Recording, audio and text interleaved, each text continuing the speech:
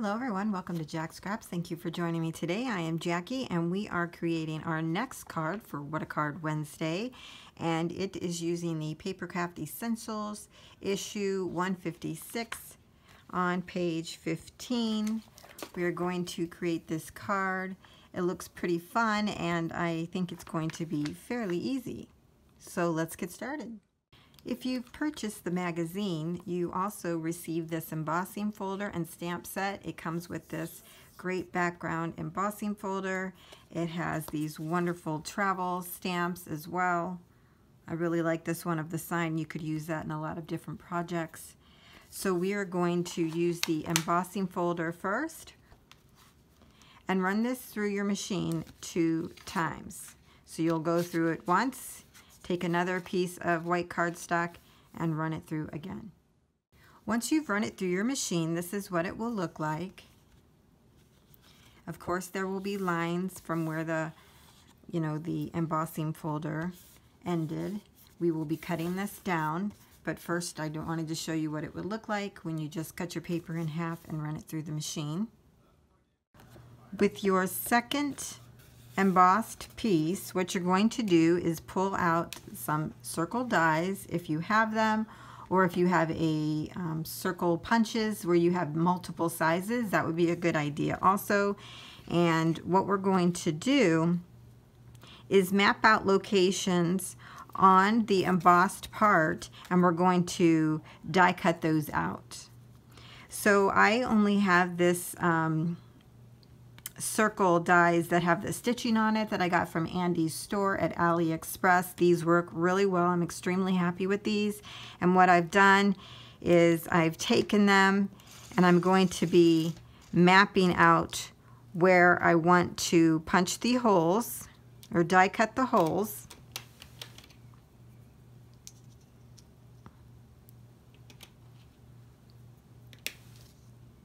Like this and then you'll run that through your die cutting machine and what you'll have when you're done are your die cuts of those particular areas.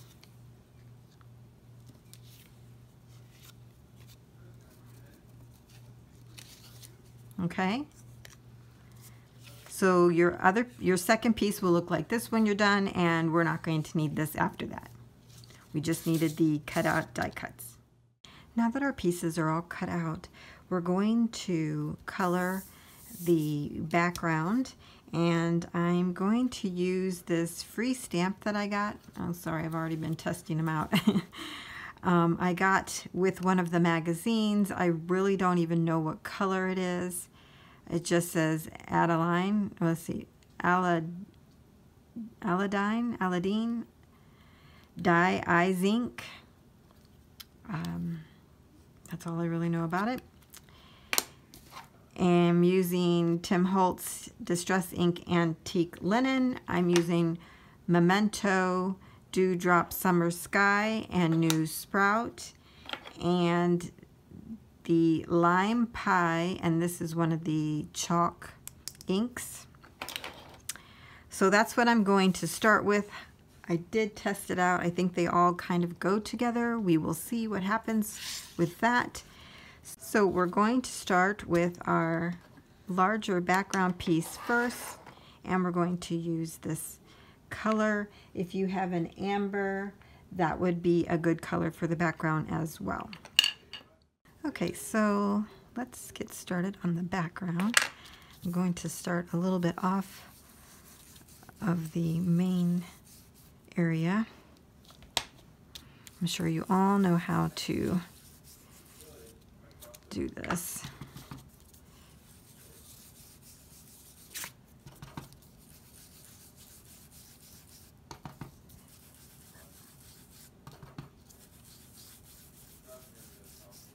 One of the nice things about leaving the whole page as is that when I can I can cut it down and then get rid of the darker spots. Okay, I think I'm going to go ahead and do this offline so you don't have to watch all of that. And I'll come back when I get that done. Okay, now that we have that all colored over, we are going to cut it down.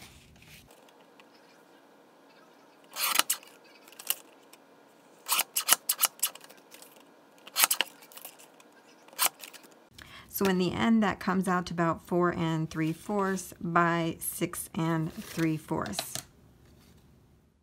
For the smaller circle, I'm going to use the antique linen, and I think I'm just going to use one of these finger daubers. See how that works out. All I do know is I'm getting ink all over me.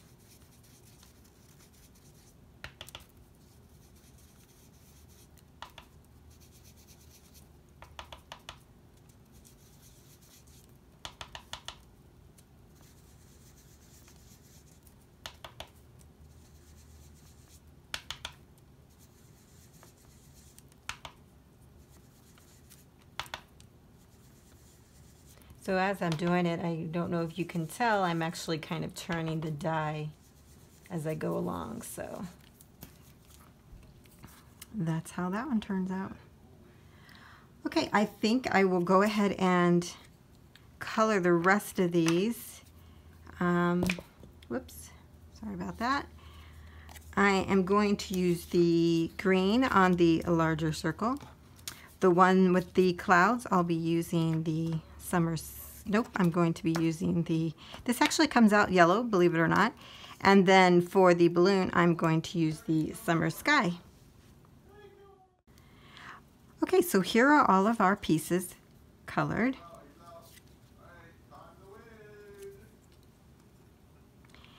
And what I thought might be neat, which I already think it's cool that we're pulling out particular images within the background, what I thought would be neat also is to use embossing powder, clear, and pull out this a little bit more than what it's already being pulled out. So I'm going to emboss the four circles and I'll be back. Okay, so I have embossed all of the little dies, circle dies that we created. And to tell you the truth, I didn't like the light color of everything. I'm I like the darker better. So I actually went over this again with all these stamps and the way I went over it was that I just took the stamp pad and actually went over each of the pieces rather than trying to use an applicator. I even did the same thing with the background and I know you may think it doesn't look good but I kind of like it. Whoops.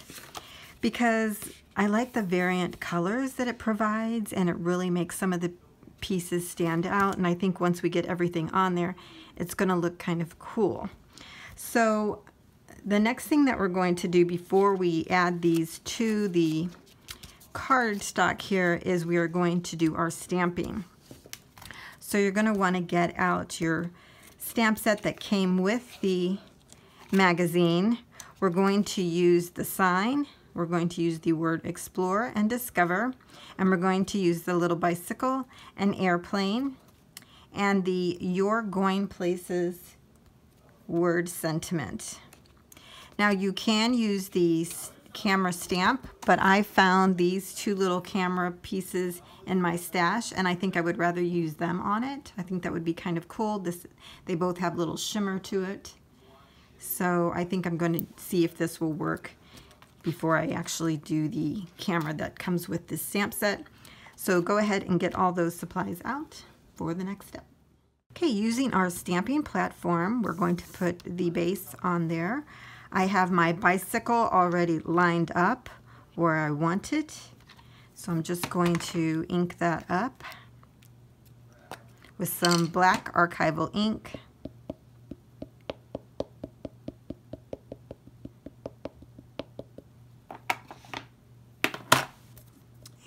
we're going to go ahead and press down. And there's that. That looks good. The next thing we're going to do is put this aside and we're going to get some white cardstock to do our other stamping. So I've, I've found this, you know, spare piece of white cardstock in my stash and I think we'll start with the sign.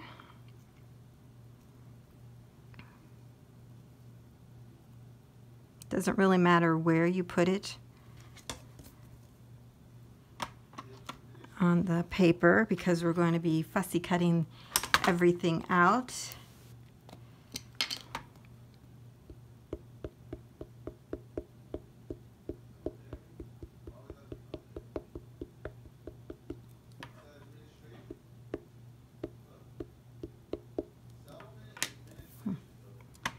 Okay, here we go. I think that needs to be a little darker down here. I could tell that when I was stamping it. I think that'll work. Now the next thing we're going to do are the words that go inside of the sign and we'll have explore on the bottom. Now when you align this, make sure you have it so you can read it. Otherwise it'll be backward. And we'll put discover here on the top. I think that should work.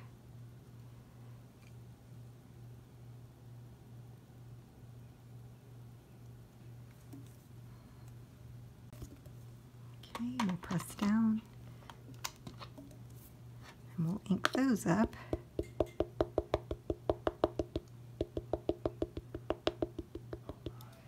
Got a little ink over here.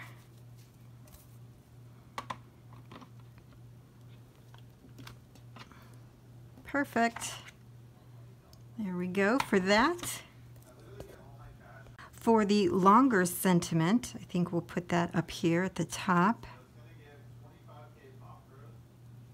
And then we have the airplane that we're going to use, and we could probably do that right over here.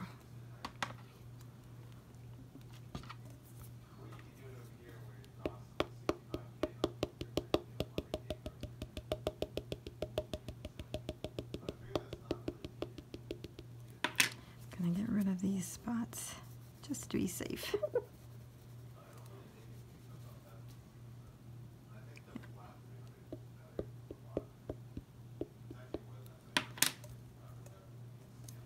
Hmm.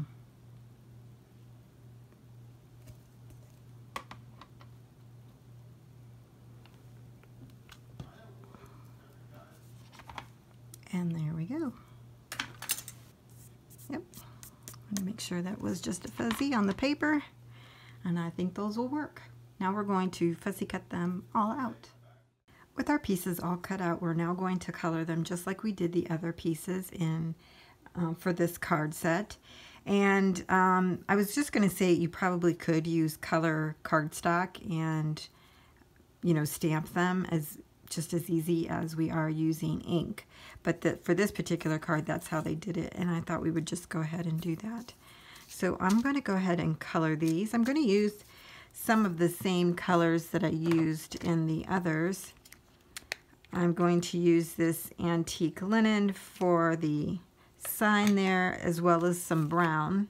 I have a coffee here or maybe something lighter. I haven't figured out what I'm going to use for the airplane yet. Maybe a light blue and then um, probably the same for the sentiment there. Okay, now we have all of our components ready and we can start layering the pieces.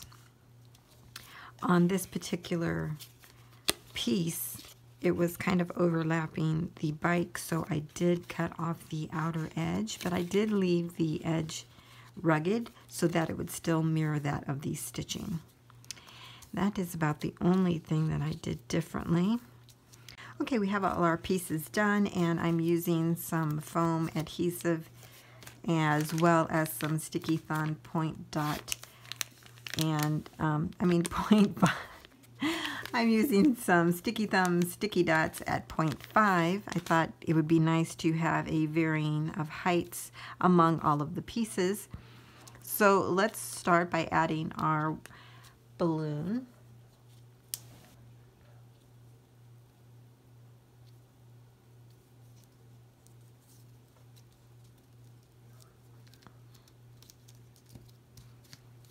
Let's do the clouds and the sun here. Make sure you line everything up when you're putting it down.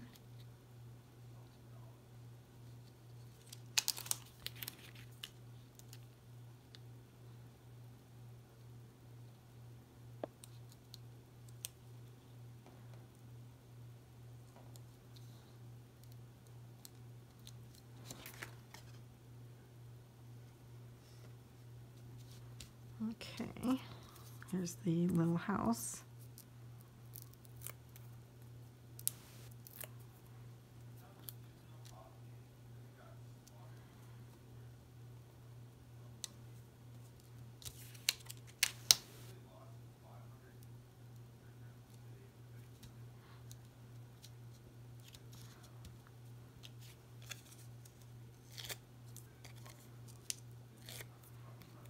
This is the house and the train here.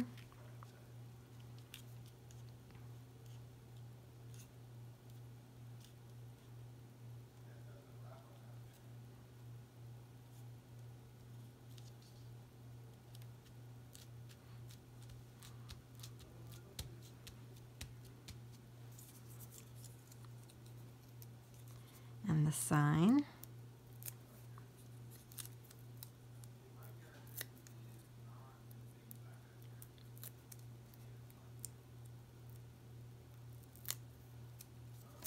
And this is going to overlap this piece a little bit.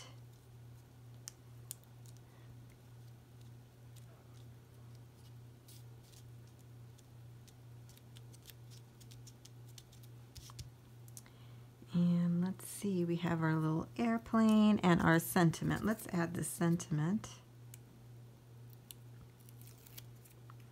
We're going to line this up against the base card here. So it may overlap this just a little bit. And we'll put our plane on top of that.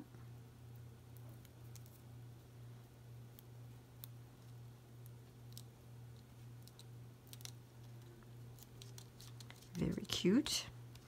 So that's all the pieces. And then we can consider adding a camera piece here.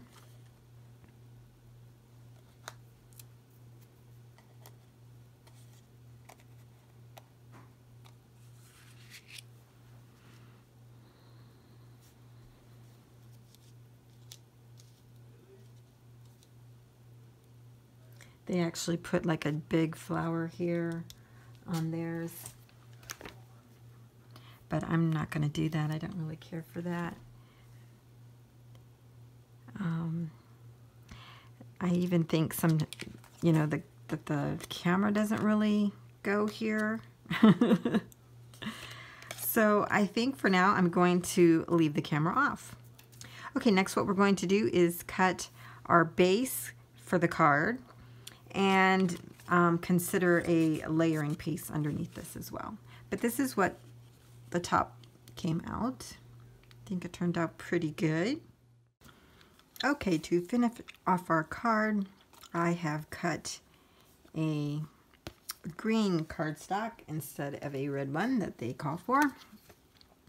And this is at 4 and 7 eighths by 6 and 7 eighths and I'm going to glue this on top of it. And then for our card base, this is 10 inches across and 7 and 1 16th of an inch for me, but please make sure you measure all of your card to see how it comes out. You would use the measurements of your colored cardstock. So it will be like this in the end.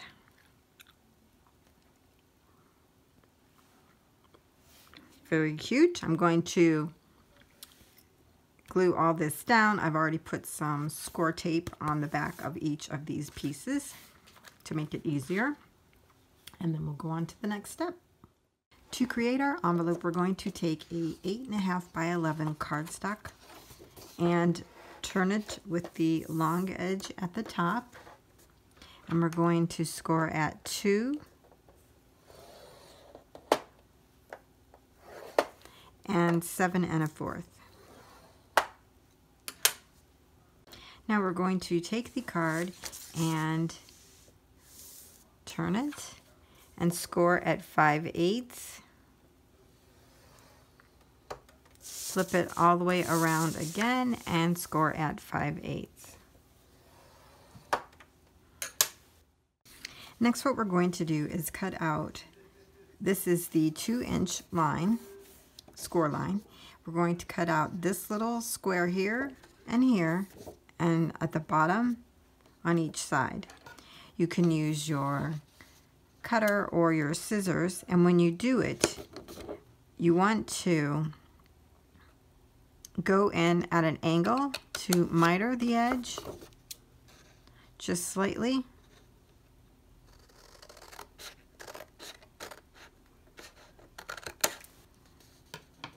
and if you want you could take this piece then align it over here and then repeat it so that it matches.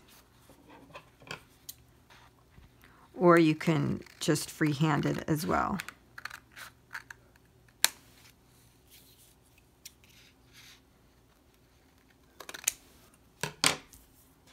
Okay, and we'll do the front, the top I mean.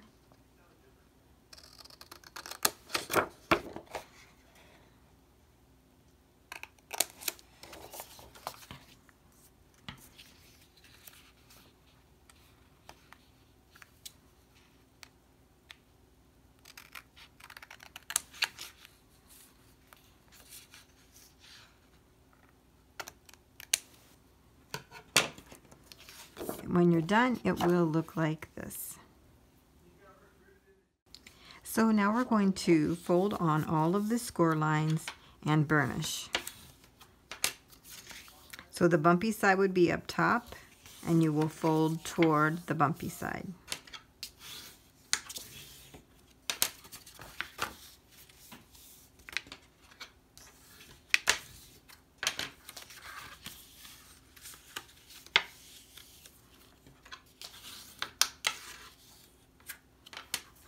Okay.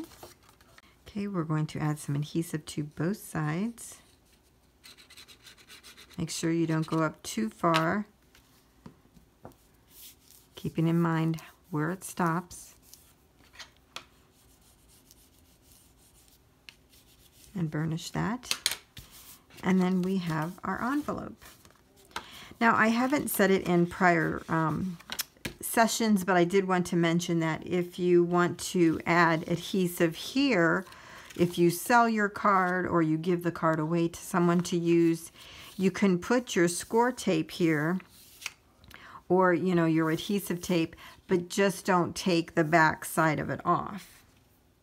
We would take our 1 4th of an inch score tape here and we would add it to the top burnish it on there, but leave the backing on, and then that way whoever wants to use it can take this off when they're ready to mail it, okay? So for our 5 by 7 card, we have created this envelope, and what I'm going to do on the front of it is mirror the sign that we have on our card, but make it just a slightly different, and I'm going to use Miss Sparkle & Co.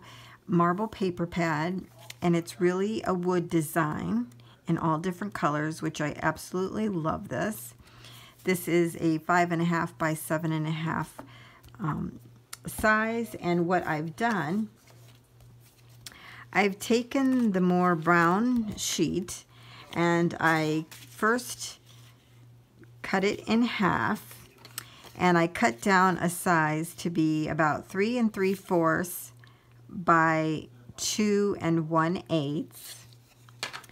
And then what I did was I, of course, had this really long slim piece, and then I cut that in half to create a post that is 3 fourths inches wide and 3 and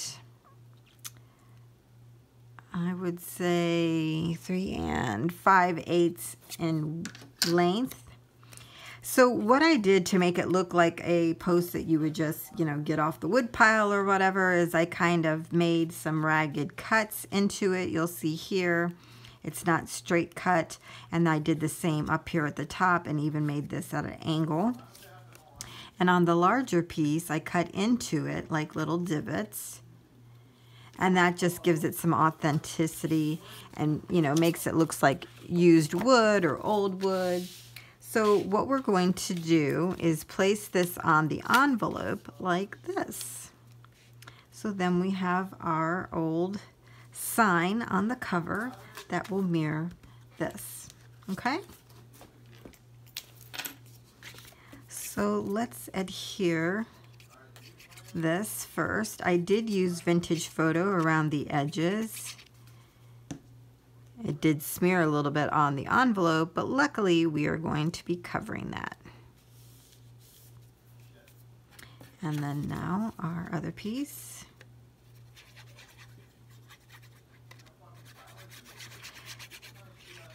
Okay. I'm just loving this. I think it looks so cute. Love it, love it, love it.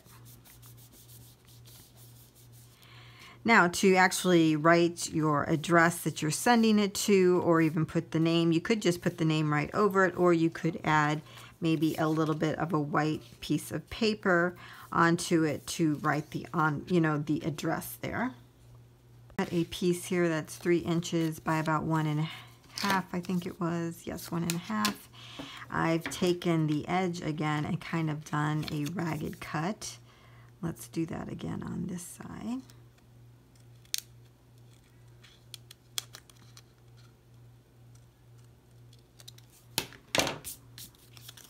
Kind of like that. Let's see. Wherever I put it, it mirrors. So I think I will use the Distress ink and go over the edges of that like we did the other one. So that it blends in a bit. Very cute. And we will adhere that down as well.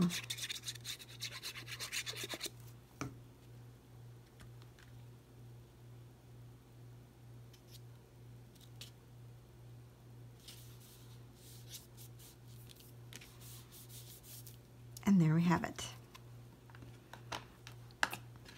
I think that looks really cute. I don't think I'm going to do any more to it than that. But let me get all my junk out of the way here. So here you have it, our wonderful little card about traveling. On the inside, I put a couple footprints, which I thought was kind of cute as well. That is still using the magazine stamp set that came with it and our cute little envelope that we made from scratch. Well, that's it, everyone. Thank you for joining me today for our What a Card Wednesday, and I'll see you next time.